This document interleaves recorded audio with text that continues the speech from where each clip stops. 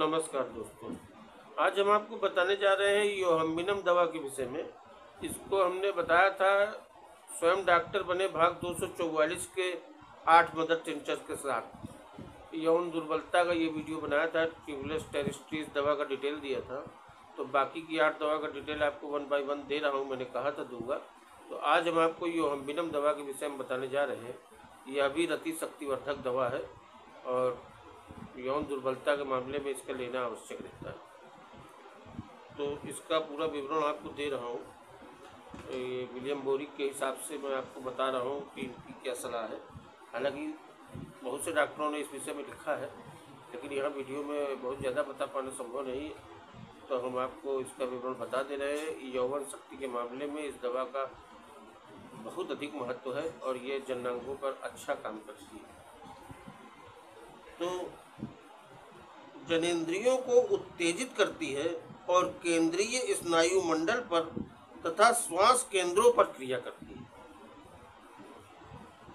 ये जनेंद्रियों पर क्रिया करती है, केंद्रीय स्नायु मंडल पर क्रिया करती है तथा श्वास केंद्रों पर क्रिया करती है।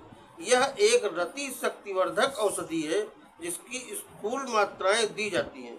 किंतु उद्रांगों के सभी उग्र और दीर्घ स्थायी प्रदाहों में इसका प्रयोग वर्जित है। होम्योपैथिक सिद्धांतों के अनुसार जनन यंत्रों की रक्त संकुल दशाओं में उपकारी होगी। दुग्ध ग्रंथियों में रक्ताधिक्य उत्पन्न करती है और दुग्ध जनन क्रिया को उत्तेजित करती है। अधिक ऋतु स्त्राव में भी इस दवा को दिया जाता है। अब हम इसके बारे में और ये बता दे रहे हैं कि शरीर के किस अंग में क्या लक्षण इस दवा के से मैच करते हैं। सिर संघर्षपूर्ण अवस्था के साथ मुखमंडल में ताप की उड़ान, भरती अनुभूतियाँ, अरुचिप्रद, धात्विक स्वाद, प्रचुर लाला स्त्राव, मिचली और डकारे।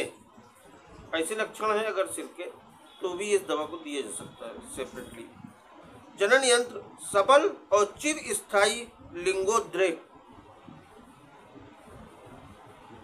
तंत्र तंत्रिकावसादी नपुंसकता।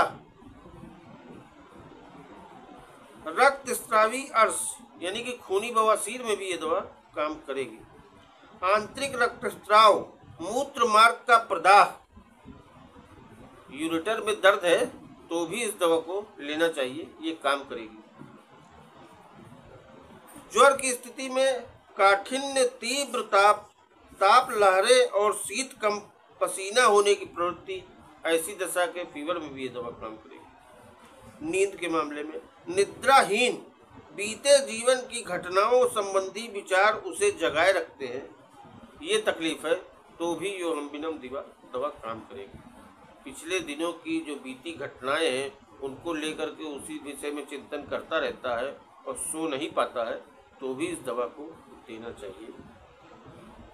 इस दवा का मदर टिंचर ही आसानी से उपलब्ध हो सकता है मार्केट में तो उसी पोटेंसी को यूज़ करना चाहिए। यो हम बिनम क्यों? हमने इसको आठ दवा के मदर टिंचर के साथ मिक्स किया था तो सेक्स पावर की दवा में पुरुषों के लिए।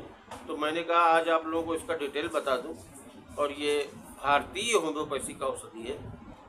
ये विशिष्ट भारतीय औषधि में है होम्योपैथिक की लिस्ट में है। तो बहुत महत्वपूर्ण दवा है। इसको हमेशा ध्यान में रखें, इसकी जानकारी रखें और आवश्यकता पड़ने पर इसका प्रयोग करें। शुभकामनाओं के साथ मिलते हैं अगले वीडियो में।